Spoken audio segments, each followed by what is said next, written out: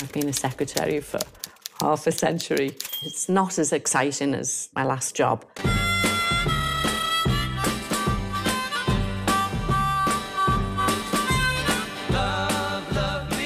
The Beatles needed a secretary. I just couldn't believe that I was starting my dream job, working for the Beatles. The Beatles were together 10 years. Freda, she was there right before they made it and right after they finish. On behalf of us all, I'd just like to say a great big thank you to our secretary, Freda Kelly. Hello, Freda! Silly me, I gave out my home address as the fan club address, and the van rolled up. I was very naive.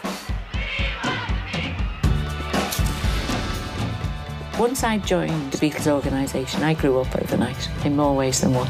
I was out with Paul walking somewhere and somebody saw us and then it was, you know, I was marrying Paul. They got a quote, Paul McCartney is not marrying Freda Kelly.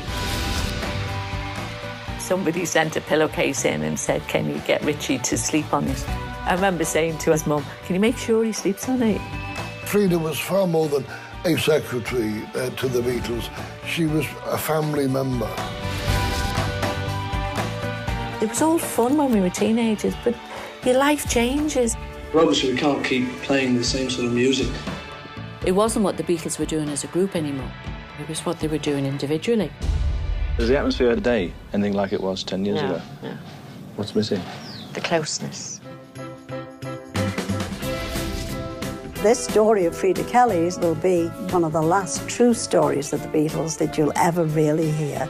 I don't know why they picked me. Maybe it was just fate. I was taken along for this 10 year exciting ride.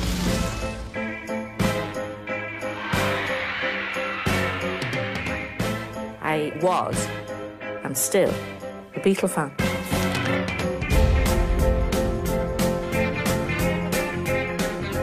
Did you go out with any of them? Pass. no stories there. Oh, there is stories, but I don't want anybody's hair falling out.